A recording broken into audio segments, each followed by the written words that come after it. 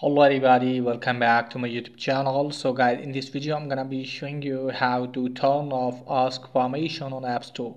So guys let's get started without wasting any time. So guys it's pretty easy to do that.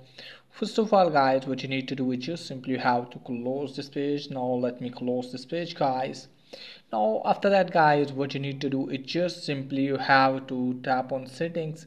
Let me tell you that if you want to download any free app just simply have to tap on your apple id and just simply have to sign out your apple id and try a different apple id and you can easily download or install apps from app store. Okay guys and if you want to download any paid app and you are getting that you have to ask the permission from your parents or guardian then i'll show you how can you turn this off so first of all guys what you need to do is just simply have to open those settings.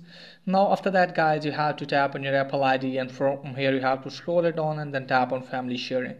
Let me tell you that if you are not the organizer maybe that's why you're getting the error like this. So guys you can easily see your name under the organizer okay guys just simply you have to tap on that name. Let me tell you that you don't need your device to do that. Just simply you have to take or steal the device of your parent or guardian for a one minute and just simply you have to tap on the apple id and then family and you can easily see your name here now after that guys you have to tap on your name and after that you can see this type of interface. So let me show you here guys. So guys when you tap on your name you can easily see here ask to buy under your name. Okay guys just simply you have to tap on that one and after that you have to turn off the toggle for ask to buy or for you on your parent or guardian mobile and you can easily turn off ask the permission. So that's pretty much for today's video. If this is helpful please like and subscribe my channel. Thanks for watching